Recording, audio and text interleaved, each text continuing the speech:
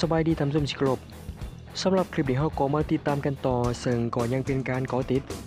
สถานการณ์สงครามคูเวตแยงที่เกิดขึ้นระหว่างรัสเซียและก็ยูเครน โดยในปัจจุบันกองทัพรัสเซียเองก็ยังเดินหน้าในการโจมตียูเครนอย่างหนัก โดยการนำใส่ระบบอาวุธนานาชนิดของพวกเขา เพื่อต่อสู้กันกับบรรดาระบบอาวุธที่นาโตและก็สหรัฐจัดส่งให้กับกองทัพยูเครน โดยกองทัพรัสเซียหันมานำใส่อาวุธ แบบทำลายล่างขนาดย่อย โดยเฉพาะแมนประเภท UAV โดรนกามิกาเซส่งเขาทำลายหน่วยรบพิเศษของกองทัพยูเครน ตลอดถึงกองกำลังทหารผสมจากนาโต โดยปริมาณการนำใส่โดรนแบบกามิกาเซของกองทัพรัสเซียถือว่ามีจำนวนเพิ่มสูงขึ้นบ่ว่าจะเป็นโดรนแบบ APV หรือว่าโดรนกามิกาเซในรุ่นรันเชสที่มันสามารถโจมตีและก็ทำลายระบบอาวุธอุปกรณ์ จากนาโตได้ทุกๆชนิด ซึ่งถือว่าเป็นหนึ่งในระบบอาวุธที่อันตราย และก็มีประสิทธิภาพที่สูง ที่สร้างความเสียหายให้กับกองทัพยูเครนและก็นาโต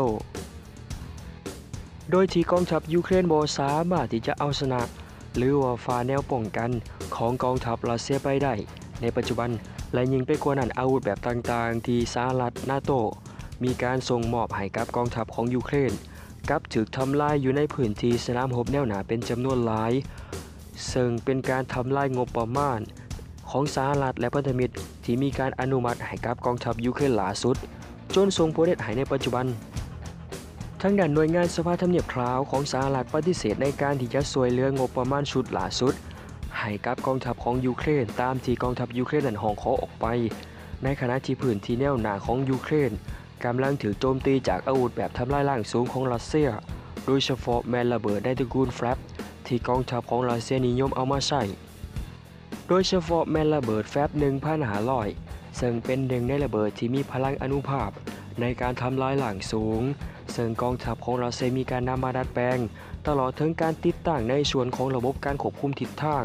เพื่อให้มันกลายเป็นระเบิดร่อนติดปีก หนึ่งในนั้นก็คือระเบิดแบบแฟบ500 ที่ถูกนำใส่เป็นจำนวนหลายในพื้นที่แนวหนา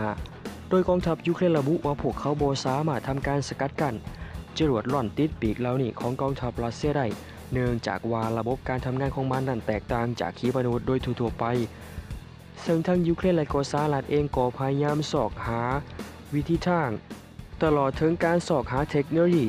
ที่รัสเซียทำการผลิตอาวุธเหล่านี้ว่าเป็นเทคโนโลยีที่มีการนำเข้าจากประเทศใด แต่ที่แน่ๆก็คือบรรดาระบบอาวุธเหล่านี้เป็นระบบอาวุธรุ่นใหม่ที่มีการผลิตขึ้นมาในช่วงระยะเวลาที่เกิดสงคราม สิ่งดังกล่าวนี้ได้สะท้อนให้เห็นว่าโรงงานอุตสาหกรรม ของรัสเซียนั้นยังสามารถทำการผลิตอาวุธได้เป็นจำนวนหลาย โดยโบมีปัญหา หลังจากที่ถือมาตรการการแช่งชันจากสหรัฐและนอกจากนี้ตามข้อมูลที่ได้รับการสำรวจก็ยังระบุว่า ตลอดช่วงระยะเวลาปี 2023 ที่ผ่านมา ถามกลางสภาพสงครามกวดแยง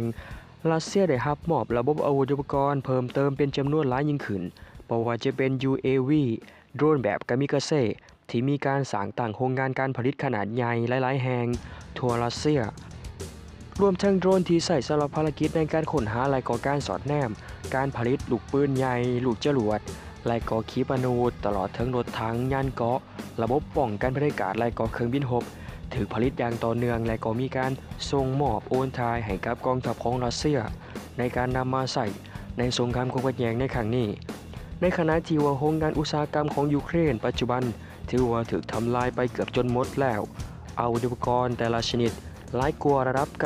90%เป็นการเพิ่งพาอาวุธจากทางสหรัฐและก็นาโต